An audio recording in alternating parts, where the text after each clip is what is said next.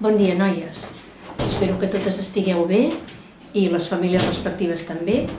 Ara eh, és una cosa que he pensat fa molts dies i la materialitzo aquí i avui. Eh, pensava fer-vos eh, tota la lectura de narracions de Salvador Espriu a través de gravacions perquè d'aquesta manera les tingueu recollides sempre en el blog Litecat i pugueu anar-hi totes les vegades que vulgueu i que desitgeu. Abans que res us faig una presentació de les característiques generals de Salvador Espriu, podeu prendre notes, podeu apuntar-vos el que vosaltres considereu, etc. Jo us faig els trets bàsics i si hi ha dubtes després en podem parlar, quan ens veiem a classe ja buscarem altres maneres. A grans trets, hm, perquè us situeu i per fer un marc general. Uh, Salvador Espriu, com a narrador, d'acord? Com a narrador que heu de situar bàsicament en els anys 40-50, eh, d'acord? Després del tall i de la fractura de la guerra, heu de pensar que és un autor format en el marc del noucentisme, d'acord? Amb els representants, amb els principis o en els principis del noucentisme. Però eh, ell ben aviat trenca amb aquests principis i amb tot el que representava el món i la doctrina noucentista. Per començar, el llenguatge, d'acord? El llenguatge tan eh, culte, tan eh, perfecte, tan eh, cuidat, tan elaborat. Recordeu Josep Carné, que vosaltres l'heu treballat? Doncs eh, aquest llenguatge eh, experimenta en mans d'Espriu una, mm, com ho diria, una distorsió profunda, eh, de, tal manera que eh, Espriu barreja, combina registres molt cultes, hipercultes, molt alts, amb el, fins a fer-se inintel·ligible a vegades, amb registres quasi d'argot, el llenguatge dels gitanos, per exemple, llenguatge molt popular, apareixen barrejats aquests dos registres de manera que el llenguatge és sotmès a una experimentació eh, que violenta a vegades eh, la lectura i la comprensió dels seus textos. Per tant, aquell llenguatge tan homogèniament perfecte, eh, culte i elaborat del noucentisme rep aquesta transformació en mans de Salvador Espriu.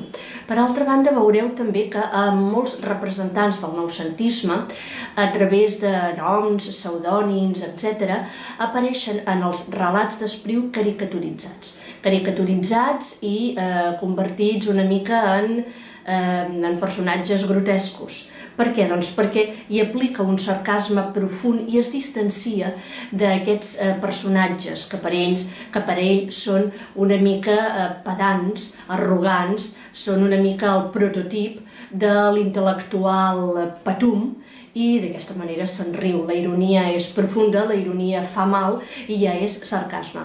D'altra banda, es distancia també del noucentisme en la visió del món i de la societat. Recordeu que vosaltres heu vist aquella eh, realitat perfecta, idealitzada, el món com un jardí, Catalunya com una societat ideal en els versos de Carné, del Carné dels fruits saborosos. També l'hem vist a vegades en el cor quiet.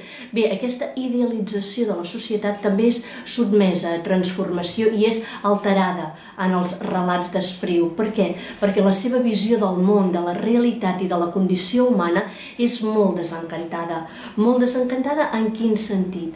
Doncs ell considera que els homes, tots, homes i dones, tots els que ens movem en aquest món, som uns titelles, representem un paper, a més a més estem carregats de vicis, de manies i de defectes i al capdavall eh, tot plegat, la vida i l'existència és un teatre, és una comèdia, o per dir-ho en altres paraules, és una tragicomèdia. Per això veureu moltes vegades que en les seves obres els personatges eh, no són personatges complexos, treballats, de psicologia profunda, són veritables eh, puccinellis, són ninots, representen un vici, un defecte dut fins a la hipèrbola, dut fins a la caricatura, de tal manera que eh, es, eh, es deforma el personatge quasi fins a l'esperpent és una visió molt negativa, és molt pessimista de la vida. Penseu que hi ha com a referent el barroc castellà, el gran teatre del mundo, penseu en això, d'acord? En les obres de Lope, Gracián, Quevedo, eh, Góngora, penseu en aquesta visió eh, desencantada de la vida, desencisada, penseu en el barroc en pintura i tot aquell tenebrisme, els clarobscurs, eh, el joc de contrastos, eh, bé, doncs eh, Espriu d'alguna manera reprèn aquest referent i l'aplica a aquesta seva visió del món i de la condició humana tan negativa. Veureu també que moltes vegades ell, com a narrador, bé, ell no, ell és Salvador Espriu, però el narrador que apareix en els relats eh, es distancia dels seus personatges, no hi mostra cap empatia ni cap eh, inclinació ni, eh, ni s'identifica, no, no pretén que tampoc el lector s'identifiqui amb ells, es distancia profundament perquè eh, té molt arrelada aquesta consciència que la vida i l'existència són una representació, una representació que quan s'acaba tots quedem desats en el calaix, no servim per a res més fins a la propera funció, fins a la propera comèdia. I som titelles que ens movem en un teatre de marionetes. D'acord? Aquesta és la visió. Penseu també que Valle Inclán, eh, d'alguna manera la persona que funda i encunya el concepte d'esperpent, és a dir, de personatge grotesc eh, eh, que, que materialitza o que representa vicis i defectes fins a la hipèrbola, és també un referent en el cas de Salvador Espriu. Amb tot això tenim dos altres elements que són eh, profundament definidors de l'obra, del relat, de la prosa, dels, de les narracions de Salvador Espriu, que és el to. Eh, ja us n'he parlat, és un to de sarcasme, no només ironia. La ironia, d'alguna manera, mouria una rialla, una... La, la ironia està marcada per un cert sentit de l'humor, no hi ha ferida profunda, hi ha una amargor profunda en la visió de eh, Salvador Espriu, que està eh, traspassada de cap a peus per la consciència de la mort. És un altre element molt pessimista, molt barroc, eh, que, que Espriu eh, reprèn, no reprèn, recull, recull i d'alguna manera aquesta idea inspira la seva obra, la mort ens passegem arran de la mort. Penseu que alguns títols de les seves obres de poesia són El caminant i el mur o Cementiri de Cinera. Per tant, penseu en això. La mort, d'alguna manera, defineix les nostres vides. És el terme final, però també és el camí, és el pas a pas. Caminem sempre cap a la mort. No hi ha cap altre destí. Per tant, aquesta eh, visió, perdó, aquest to és un sarcasme. Sarcasme per què? Perquè en tractar els vicis i els defectes de la condició humana, eh, Salvador Espriu té molt present que d'alguna manera tots estem en aquesta comèdia, en aquest gran teatre del món, caminant cap a la mort. Per tant, hi ha una amargor profunda, hi ha un desencís eh, vital eh, molt arrelat que és el que el porta a no utilitzar tant la ironia, que encara mm, es basaria en un cert sentit de l'humor, sinó utilitzar el sarcasme, és a dir, aquest posar el dit a la llaga de tots els nostres eh, pecats, misèries, manies, i així acabem retratats tots eh, com eh, esperpents, grotescos. Aquesta seria la idea, un to de sarcasme, és a dir, de denúncia, de condemna, eh, feridora, punyent dels vicis i de les manies de tots els personatges, que al capdavall vol dir de tots els homes i dones que eh, Salvador Espriu ha conegut. I l'altre element important és l'actitud de la veu narrativa. És una actitud molt distanciada i distanciadora. Veureu que moltes vegades el narrador pràcticament només és una veu que dialoga amb els personatges de lluny, a vegades més de prop, però normalment marcant distància i els mou, els mou perquè els seus dits són els que remenen i manipulen els titelles que van actuant. Per tant, hi ha una actitud de gran distància, eh, de, una actitud, de, no diré de fredor, però sí de barrera entre el narrador i els personatges. Per tant, tingueu present, aquests són a grans trets els elements que defineixen la narrativa de Salvador Espriu. També hi ha poesia, també hi ha teatre, però ara treballarem els seus relats. Us aniré eh, llegint, com sempre fem a la classe, fragments. El que passa és que els relats d'Espriu són molt breus, són curts i són molt densos, molt densos i de comprensió difícil. A vegades la intel·ligibilitat és, eh, és, eh, és un, és un tresor que costa molt d'aconseguir i per tant em saltaré poques línies, em saltaré pocs passatges perquè perillaria la comprensió del text. Començarem amb el primer relat que és Tereseta que baixava les escales. Eh, aquest relat ens situarà d'alguna manera en el món mític de Cinera.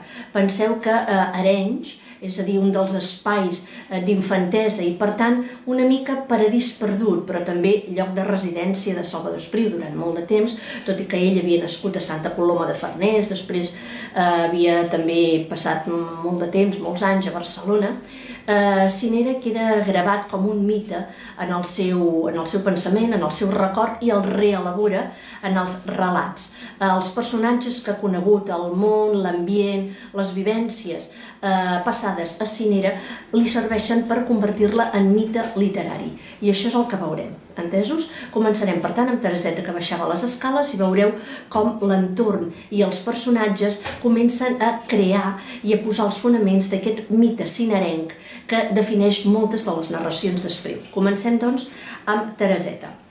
Heu de tenir present que eh, en aquest relat, eh, a nivell de tècnica narrativa, hi ha un aspecte molt curiós que el defineix, molt curiós, molt, molt interessant, i el defineix de dalt a baix, i és eh, la veu.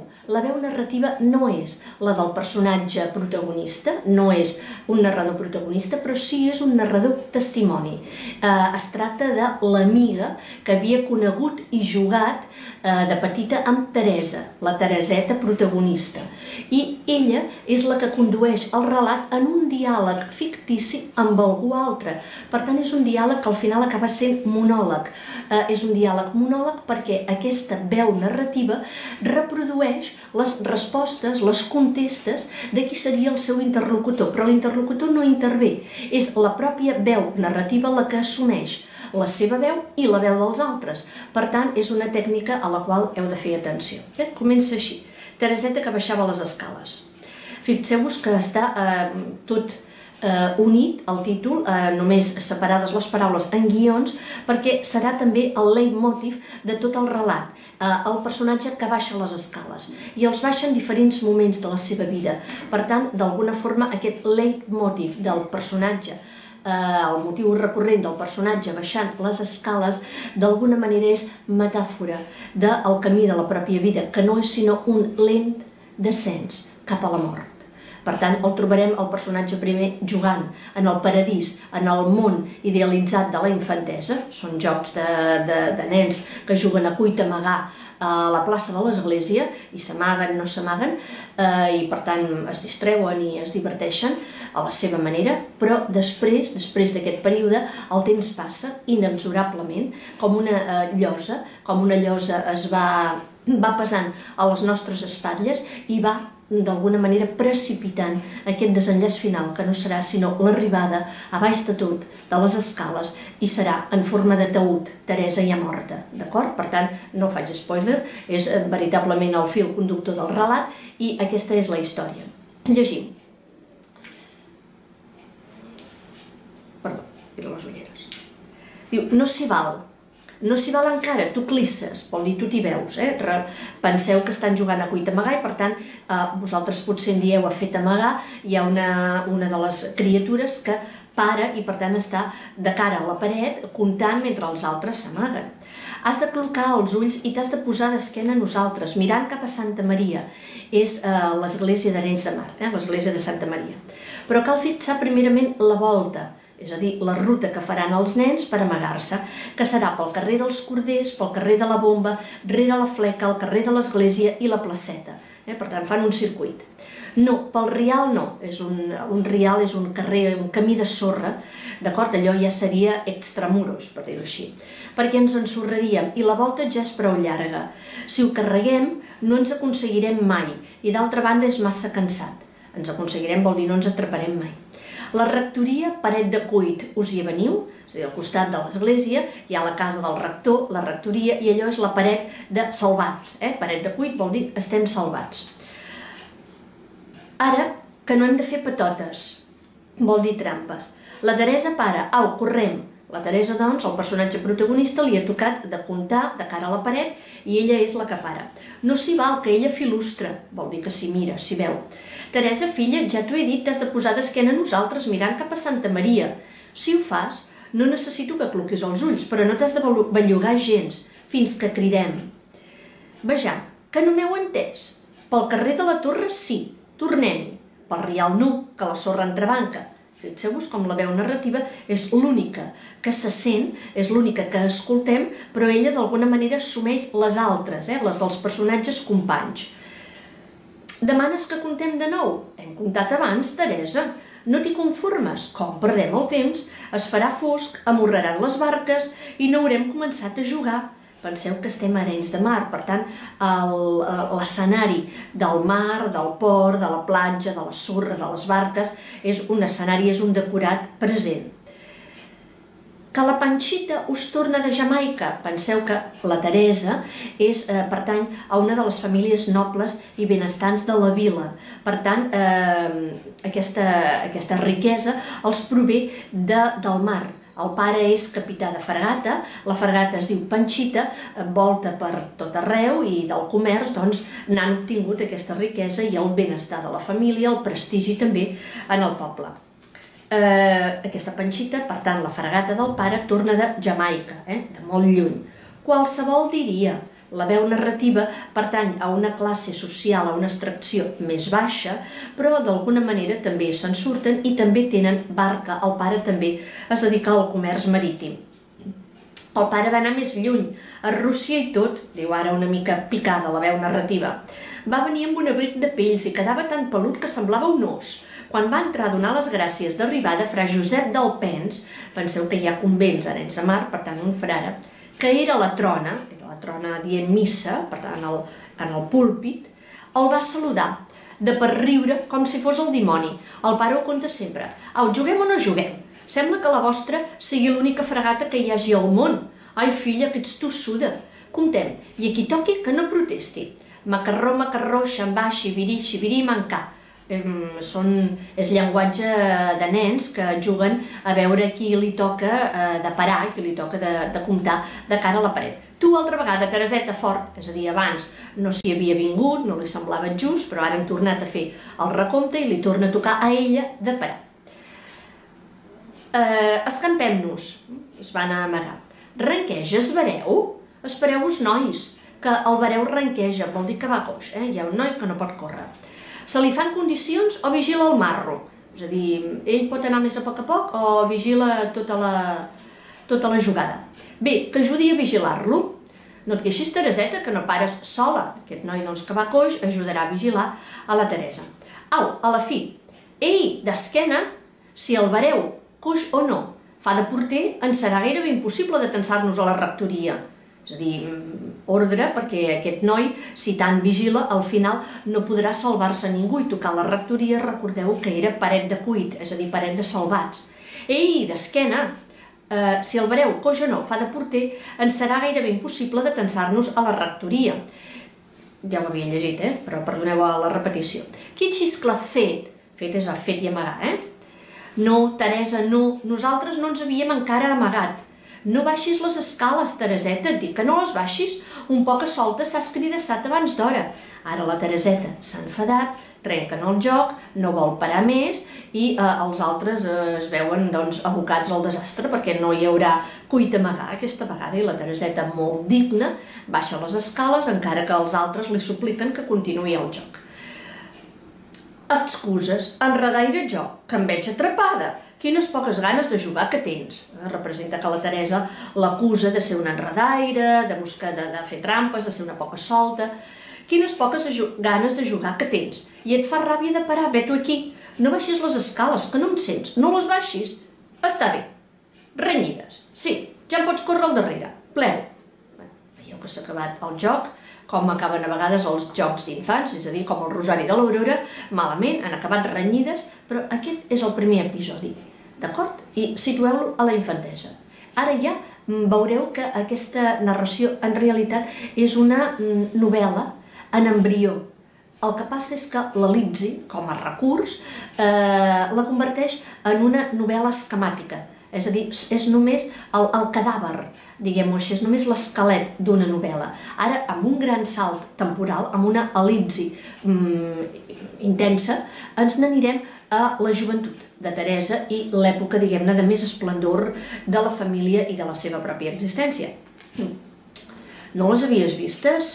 Noi, d'on surts? Si varen tornar ahir, aquesta vegada ha estat un senyor viatge de tres mesos. És el que han fet Tereseta, la seva germana, que ara ens sortirà, amb la família, amb el pare.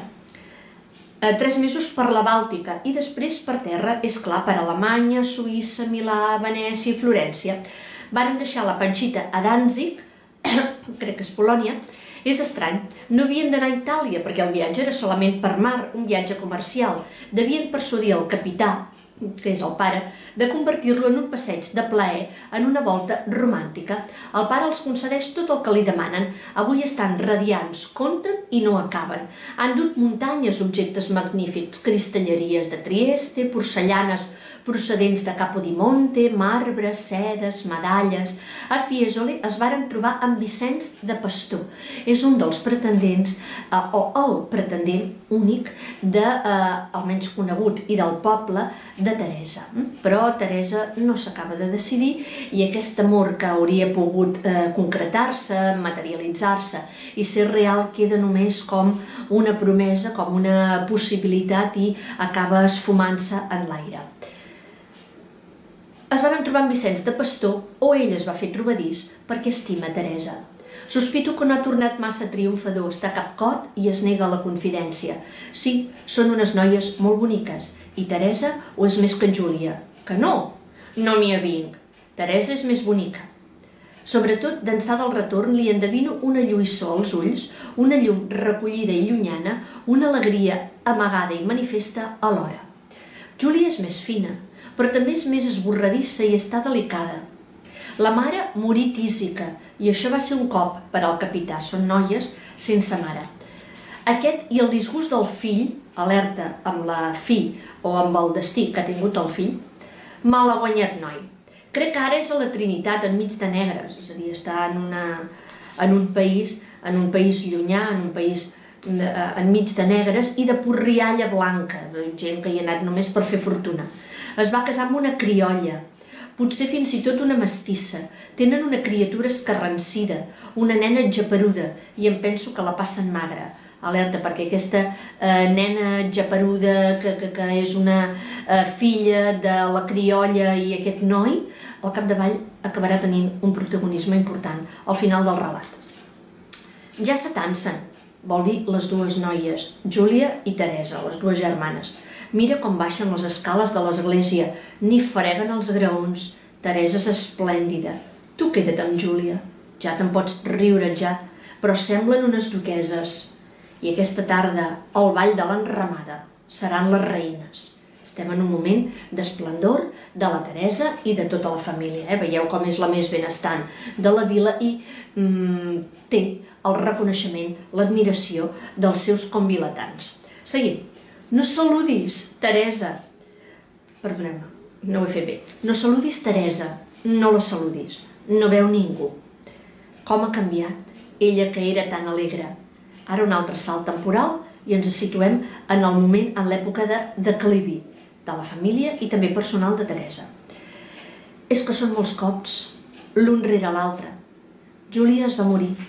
Després d'una lenta agonia, i d'haver lluitat mesos llargs amb coratge contra la mort. El dia mateix que es morí, la Panxita, recordeu que és la fragata, va encallar les boques del Roina. No, no va ser una pèrdua econòmica considerable perquè en Vallalta és ric, són Vallalta de cognom. Però estimava tant la seva fragata, d'ençà del naufragi, que és material, moral, espiritual, personal, familiar, eh? aquest naufragi, no s'ha embarcat més, ha avorrit el navegar, Es passa els dies a la Pietat, la seva horta. Fixeu-vos quin nom també més representatiu, eh? Pietat per un nàufrag de la vida i de l'existència. Enmig d'arbres i de llibres, contemplant la mar de lluny, aquest home tan fort abans, ara és un vell vacilant, decrèpit. Ja no conta les seves aventures marines, per la memòria. Quin home que va ser! Diuen que arribar a assistir de brivall, de brivall vol dir de... Eh, diríem de, de grumet, eh? Un, una de, dels últims de l'expedició, de la tripulació, a l'expedició d'en Barceló contra Alger, la passada centúria, encara que els comptes potser no surten, i ha estat després per tot arreu, a Iloilo, que és Filipines, a Mèxic, a les Nicobar, que és al sud-est de l'Índia, a Terra Nova, als Estats Units eh, i, i Canadà, a Odessa, Rússia, però ara el capità ja no desitja sinó morir en la calma de les seves arbredes i la filla té cura d'ell. Sí, Teresa és una dona potser de 40 anys, potser de més, i Vicenç de Pastor, aquell antic pretendent, encara espera una paraula dels seus llavis. Però Teresa no estima ningú. No la saludis, és inútil, no et veurà. Baixa d'esma, les escales. Fixeu-vos, doncs, com ja portem tres episodis. Mm, la baixada, quan era infant, eh, enfadada perquè el joc s'havia interromput bruscament la baixada parsimoniosa de joventut esplèndida i ara aquesta baixada solitària d'una persona en declivi ja a la quarantena. Fixa't com baixava les escales, que senyora! Baixava, eh? Ja han passat. Pas de dama, lent, compassat i lleuger alhora, d'un ritme igual i segur, d'una escola i d'un estil que s'han perdut. Sí, la Teresa és molt vella, ja ho saps, té els meus anys, que si ho puc recordar, vàrem jugar juntes tantes vegades en aquesta placeta a cuit, a mar rotitiu, al soldat plantat, a saltar i parar, jocs d'infants. Ara de punta a punta de l'existència ja només queda el record. En la bellesa només queda la memòria de la infantesa. I ara això és ben lluny. Aleshores el poble se'ns apareixia com si fos més gran, immens, d'un color més ric, amb un altre caràcter és la idealització del món que correspon al record i al paradís perdut dels infants, de la infantesa, vull dir. Les nostres corregudes sempre descobrien un nou racó amagat. Cada tarda esperàvem al sorral la morrada de les barques i de tant en tant el retorn d'algun veler de les remotes mars d'Amèrica o de la Xina. El meu pare també va ser pilot i anar fins a Rússia a través d'aigües gelades, vorejant niells de glaç, imagineu icebergs, eh, dels que no es veuen gaire en la superfície del mar. Arribava després vestit amb pells, igual que un os, i a l'església escandalitzava amb el seu luxe. Fixeu-vos que això ja ho he explicat en el primer episodi. Eh, apareixerà moltes vegades en els relats d'Espriu aquestes escenes o aquests fragments, aquests episodis eh, contats, explicats des de diferents punts de vista o des de diferents perspectives temporals. Ara és explicat des de la bellesa. Abans ho era des de la infantesa. Tot va passar algun dia, al capvespre, ens enfonsàvem pels canyars dels rials, eh, camins de sorra vorejats de canyes, amb l'esgarrifança d'una aventura prohibida. Avançàvem gairebé a les palpentes, eh, sense veure, només tocant, i ens voltava com el pressentiment d'un miracle.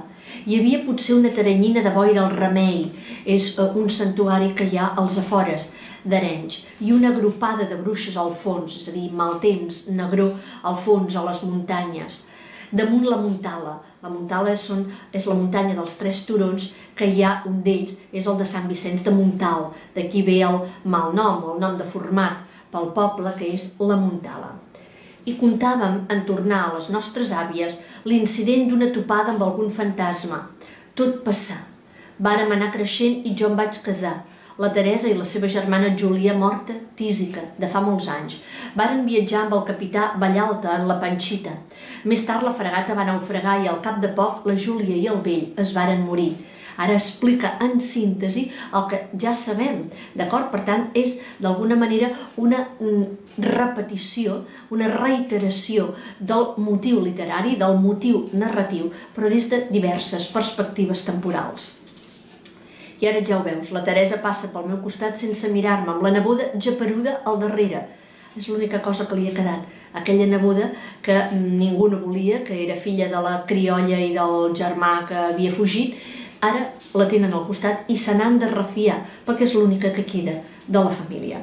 Com una ombra de gos. Passa fregant-me i ni em mira. I la meva família ve d'un estil almenys tan clara, vol dir tan prestigiosa, com la d'ella. I jo li he de donar tractament, com una menestrala, Vol dir que eh, es fa mm, admirar tant que sembla que tothom li degui alguna cosa, li degui tractament de senyora, de senyora i majora, com si fos la mestressa d'alguna cosa en el poble. I en realitat aquesta veu narrativa ve a dir que ella eh, té tants diners, és tan rica eh, com, com la família de Teresa. I, i bé, noies, doncs continuem. Ho havíem deixat a Menestrala. Eh, continuo la, la lectura. Tot canviar la Teresa és una vella trista, no sap riure, i el poble em sembla, i a ella de segur que també, tan petit, tan buit i rònec. Fixeu-vos que aquesta consideració de Salvador Espriu pel món que l'envolta, com un món marcat per la mesquinesa, per la eh, indignitat, per la pels vicis i per les manies dels homes i dones que té l'entorn, doncs és un motiu recurrent en els seus relats i ens tornarà a aparèixer. Però en qualsevol cas la visió, eh, ja us ho havia dit, és negativa en general, tant del món com de la societat, com de la realitat que l'envolta, etc. Seguim. I en altre temps la nostra fantasia l'imaginava com dintre un núvol sense límits. És mm, la, la idealització de la infantesa que tendeix d'alguna manera a convertir la, la realitat, el món, eh, la vida, l'existència en una mena de fantasia eh, romàntica que després la vida s'encarrega de desmentir i de eh, trencar. Carrer de la bomba rere la fleca, carrer de la torre, el petit univers dels infants, que semblava, in, eh, semblava infinit i semblava inabastable. La Teresa baixava rebent els graons de l'església i fixa't ara com els baixa. Això sí, tant senyora, en pas de dama.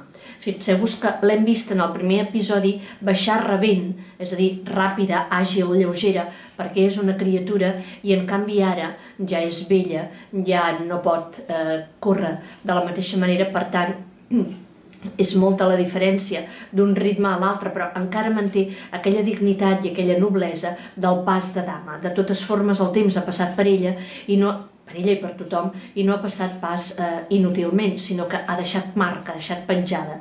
Ara ja no és l'infant que corria, ara ja és una dona, una dama vella, que ha de caminar a poc a poc i en pas cansat. Enceto l'últim episodi.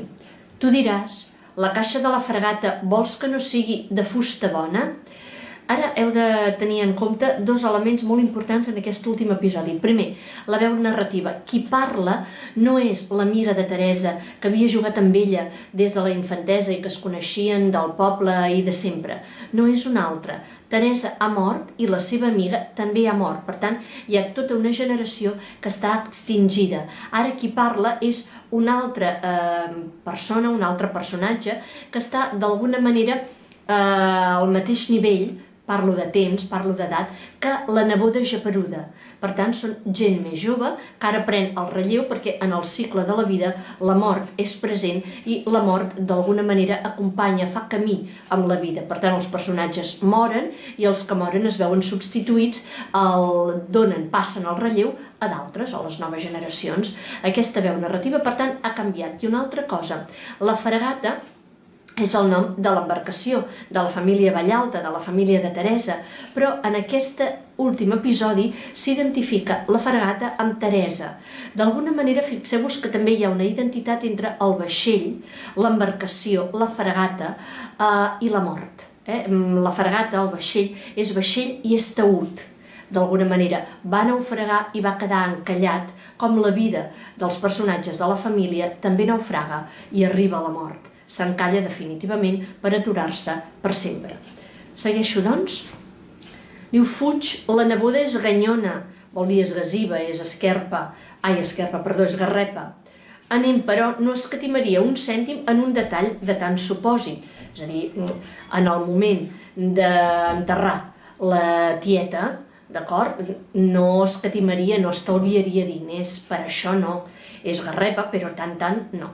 Al cap i a la fi duien la mateixa sang i no s'exposarà a les estisores de les llengües, és a dir, no s'exposarà eh, al fet que mal parlin d'ella en el poble, a la vila, per tant, mm, és gasiva, és avara, però en el moment d'enterrar la tieta doncs es gastarà els diners que calgui, evidentment, i farà un enterrament digne de les circumstàncies. Són la família més benestant del poble i li correspon aquest honor. Mira, de criada o pitjor, a senyora i majora, els camins de la vida.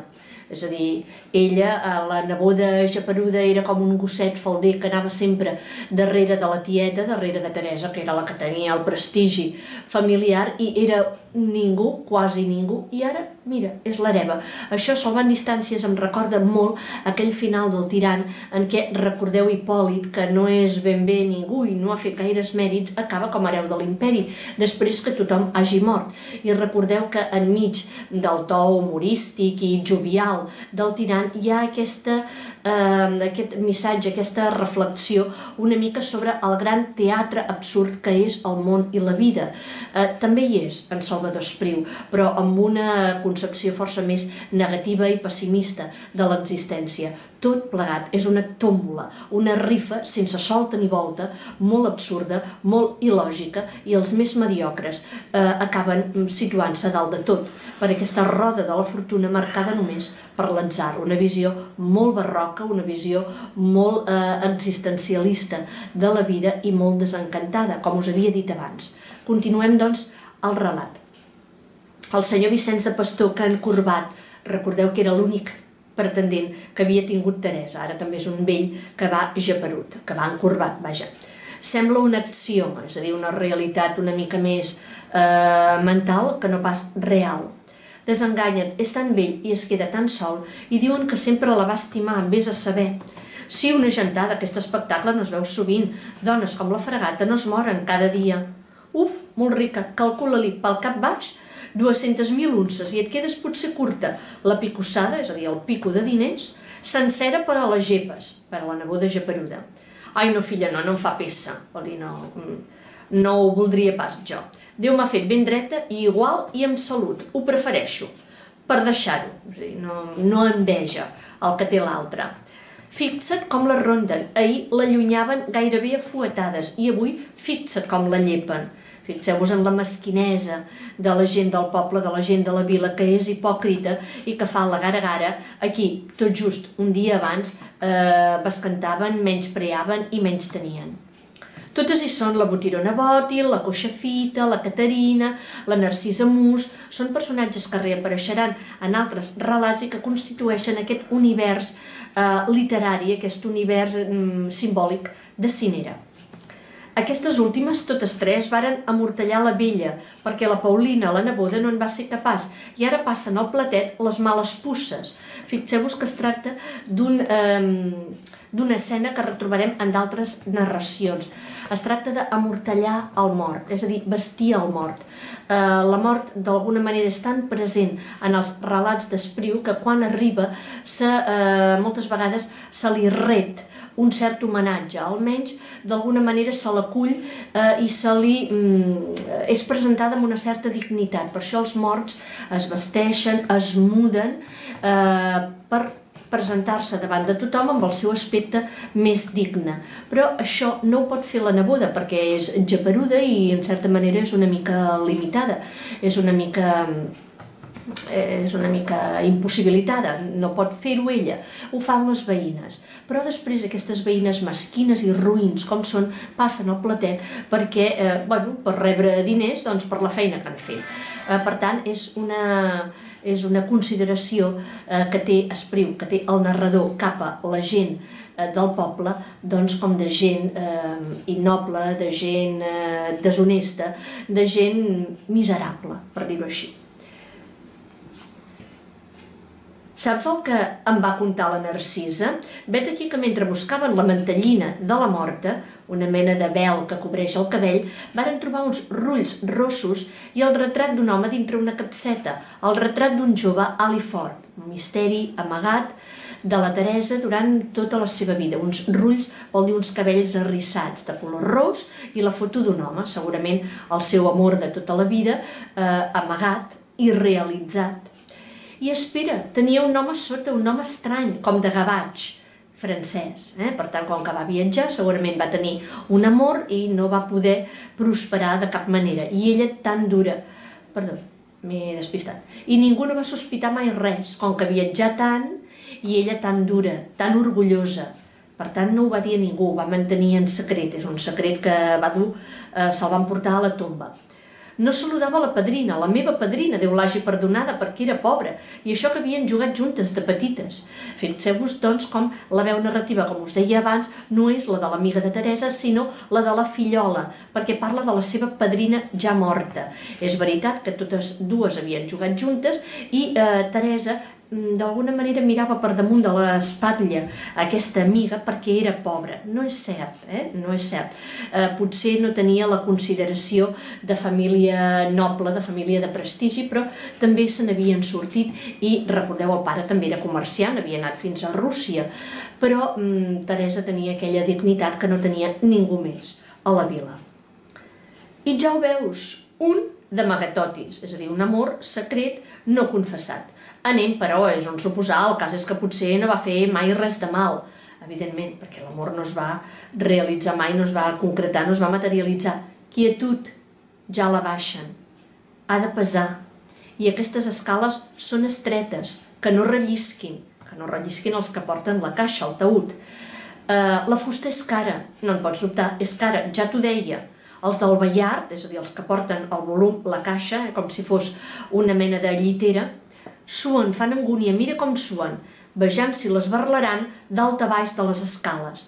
Fixeu-vos que aquest motiu recurrent amb el qual hem començat, les escales que baixava Tereseta quan jugaven a cuita amagar perquè s'havia enfadat i el joc havia acabat d'una manera abrupta, d'una manera brusca, ara torna a baixar-les, en l'últim episodi els ha anat baixant en l'esplendor, en el declivi, en la bellesa, i ara els baixa dins de la caixa, dins de la caixa de morts, que és la fregata, aquest vaixell que ha servit també de taüt i que ha provocat aquesta identificació entre Teresa i l'embarcació de la família.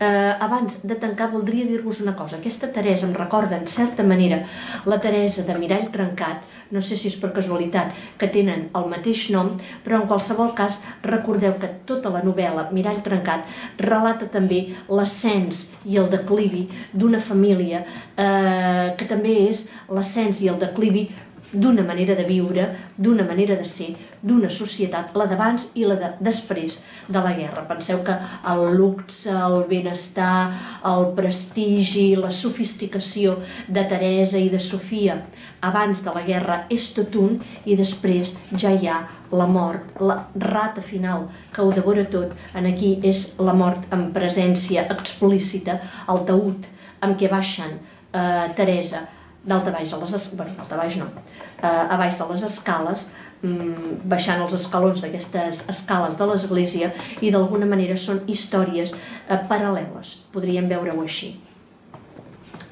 Ja estic.